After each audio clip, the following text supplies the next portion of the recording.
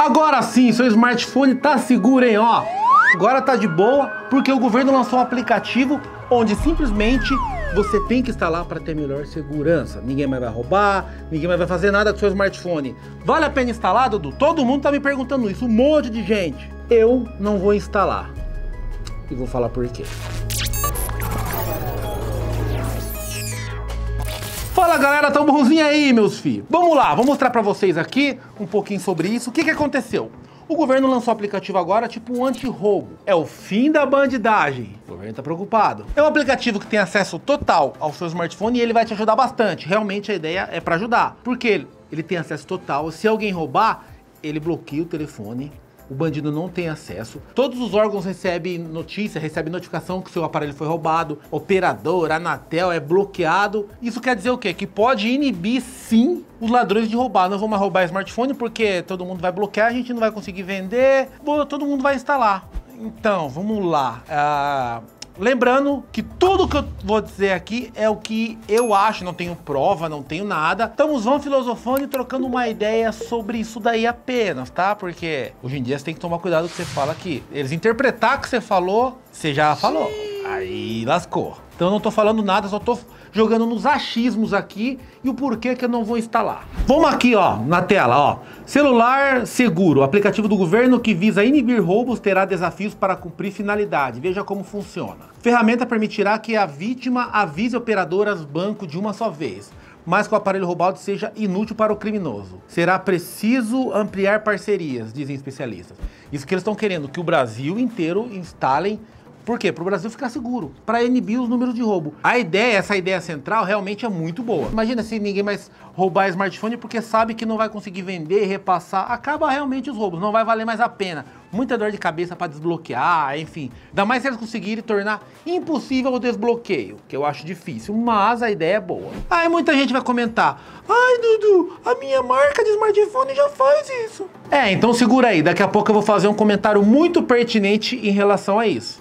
Então aqui vai ser a interface, eu não vou instalar no meu, viu galera? Por isso que eu não vou mostrar a interface aqui no meu smartphone. Você vai cadastrar uma pessoa de confiança, isso aqui é interessante. Vamos supor, acabaram de me roubar. Eu pego o aparelho dessa pessoa de confiança, pelo aparelho dela eu tenho acesso e eu consigo bloquear tudo e fazer as notificações, fazer todos os irigdum que eu tenho que fazer para proteger meus dados e inutilizar meu aparelho. Isso aqui é legal. Ó, registrar o telefone e registrar a ocorrência. Cadastro o telefone. É só isso que eu consigo ver do, da interface porque eu não vou instalar. O celular seguro, serviço com o qual o governo federal pretende inibir roubos de smartphone, poderá no primeiro momento ajudar a bloquear ah, acesso de bandidos a linhas telefônicas e aplicativos de bancos e notificação de terceiros sobre crimes. Mas ainda não será capaz de fazer o aparelho um pedaço de metal inútil na mão dos bandidos. Por enquanto, a ideia é eles conseguirem. Como pretende o ministro da Justiça e Segurança Pública. Agora a gente tem que ficar com medo mesmo. A ferramenta já está disponível no Google Pay, nananana. Com o celular seguro, quem tiver o celular roubado ou furtado poderá avisar de uma vez várias instituições parceiras do governo, Agência Nacional de Telecomunicações, Anatel, banco e pipipi papapá. A partir de informações divulgadas pelo Ministério, o G1 ouviu especialistas e pretende entender. Nananana. A proposta prevê quem se cadastrar previamente tiver o celular roubado ou furtado poderá registrar uma ocorrência no aplicativo. O alerta será enviado ao mesmo tempo para operadoras, telefone e banco. Isso aí que a gente falou agora. Se a ideia se cumprir, a vítima perderá menos tempo para entrar em contato com cada instituição. Faz sentido.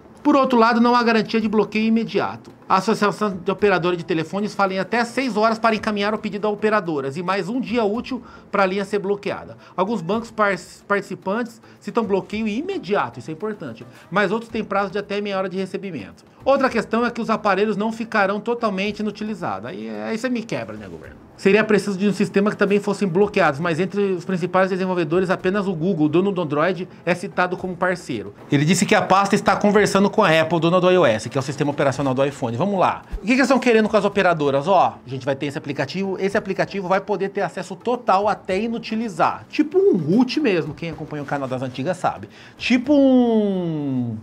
Cara, tinha um aplicativo de segurança muito bom, era um bagulho de três cabeças, um cachorro de três cabeças, esqueci o nome dele, mas vamos lá. A ideia é boa, galera. Mas eu tô com medo de algumas coisas. Por quê? Imagina o quão perigoso é o governo dentro do seu smartphone. Porque sim, o governo vai ter acesso total. Lembrando, não sou de direita, não sou de esquerda. Eu, sou, eu acho que tem que existir uma união entre o capitalismo e as funções sociais. Função social tem que existir. Mas não podemos negar o capitalismo, né, gente? Antes de falar que eu sou Bolsonaro, que eu sou lalalala, parada dessa merda aí, que a galera aqui não concorda, começa a jogar você para certos nichos, né? Ah, você é petista. Ah, você é não sei o quê. Eu sou só um cara lógico, mas vamos lá. Vocês viram agora a nova lei que saiu sobre a sua casa? Que antes para você perder a casa, certo, você não pagava, você tem que pagar a casa. Mas era um baita BO, cara entrava na justiça, sei o que, você tinha mais de um ano para poder recorrer para até perder sua casa. Você tem que pagar, mas é uma casa. Agora, em três meses, o governo pode vir tomar sua casa. Isso já acontece em vários outros países que são oficialmente denominados de esquerda. Ter direito à sua propriedade. Isso não sou eu que estou falando, o próprio governo brasileiro já falou sobre isso. Começou agora o lance de regulação da imprensa. Vocês viram aqui o hacker invadiu o aparelho da Janja, bem na hora que o Dino assumiu o STF, não tô falando nada, plena coincidência. Pode regular a internet à vontade. O invasor vai conseguir invadir o seu aparelho, uma coisa não tem nada a ver com a outra. Só isso. Eu acho que é dar muito poder pro governo. E é isso que o governo quer. O governo já falou. Lembrando, eu não sou contra não botar regras na internet.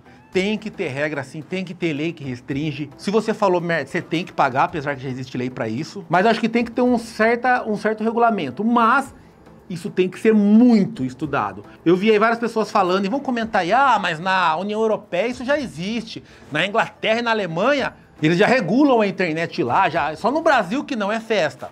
Vamos lá, beleza. Vocês viram que no meio do ano aí eles estavam querendo uma votação expressa para poder levar a votação para regular. Porém, na Inglaterra, os caras demoraram quase 10 anos para fazer essa regulamentação foram jogando lá ideias o que era, o que não era, foram debatendo nove anos e pouco para conseguir regular. E o Brasil quer em três anos conseguir regular, sendo que nesse meio do ano entrou várias páginas a mais. Tá tudo ali, aí joga mais página e vamos votar às pressas. Espera aí. Sendo que o governo não tinha escolhido nenhum órgão regulador para isso. Quem é que vai tomar essa decisão? Quem é que vai bater o martelo? O governo não tinha nem isso, nenhum órgão que ia legislar e dar parecer para esse lado ou para esse lado. Lembrando, não estou falando que a internet não precisa ser regulada. Eu acho que sim, todo mundo que falar merda tem que pagar por isso. Eu não vejo a hora disso acontecer, porque eu vivo de internet, tem muito nego doente. Mas agora o problema é, quem vai dizer o que é certo e o que é errado? É esse que é o problema. Ainda mais agora com o STF. Né? É, pois é. Eu posso muito bem amanhã chegar e falar, eu não gosto do governo porque eu acho que o governo não faz nada de bom. Eu posso falar isso e você também pode, todo mundo pode. Mas agora, até que ponto o governo pode chegar com essa minha fala, ou a sua fala, e falar, ó, oh, cara aí falou que a gente não faz nada, eu acho que eles estão incentivando o povo contra a gente. Aí é verdade, STF é. Isso aí incita o ódio do povo contra o governo. Vamos bloquear. Porque agora basta eles entrar no acordo e ver, pô, a interpretação já leva caso para bater o martelo. Esse que é o perigo. Agora, você viu que eu fugi um pouco do tema. Não fugi não, tem tudo a ver. Imagina agora o governo no poder do seu celular. De repente você tem uma dívida que você não consegue quitar. Lembrando, não estou falando que isso vai acontecer. Suposições, suposições. Tem uma parada que você não consegue pagar ou não pode, você devia pagar, hein? Mas agora o governo tem a posse do seu celular. E aí? Os aplicativos lá que colocam leis agora, e criptografia, e se o seu aparelho tiver acesso total, até bloqueio total do seu aparelho. Eles podem ter acesso a tudo.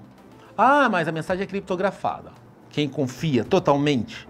Não estou falando que o governo vai escutar sua conversa, não estou falando que o governo vai ler suas mensagens, não estou falando isso. Mas é muito poder. Falar que eu confio plenamente? Não confio estou no meu direito de não confiar. E tenho muitos motivos para isso, né? Acho que todo mundo tem. O governo vai ter acesso ao seu smartphone, vai ter acesso à sua localização em tempo real. Por um lado, não seria ruim também, né? Eu não devo nada, o governo quer me localizar, me localiza. Seria bom pra nego vagabundo? Seria. Seria bom pra nego desaparecido? Pô, desapareceu a pessoa, cadê? Ah, o número dele é tal. O governo vai lá, pô, o cara pode achar corpos, achar pessoas sequestradas. É interessante. Mas é muito perigoso. Mas eu tô vendo um outro perigo que. Não tô falando que vai, mas pode. Um exemplo. O meu é um Samsung, eu consigo rastrear ele de uma forma, se me roubarem hoje, eu consigo rápida, de uma forma rápida, catar qualquer smartphone de qualquer pessoa na rua e bloquear meu aparelho e tentar rastrear. Assim com o iPhone. Vocês querem aprender? Coloca aí, eu quero aprender a bloquear o meu aparelho. Android, Samsung, Apple. Vocês gostariam de aprender? Muita gente fala, tá cheio de vídeo na internet aí, né? Explicando. Aperte lá, aperte vai configurações. Se hoje seu aparelho for furtado ou você for roubado, Agora, fecha o olho aí. Você acabou de ser roubado. Como que você, você viu vários vídeos na internet, né? Como faz para bloquear? Para rastrear o seu aparelho. Eu quero rastrear ele rápido. Já, já ligo para a polícia e já mando ir na busca, na captura dele. Você consegue? Você assistiu vários vídeos. Você consegue?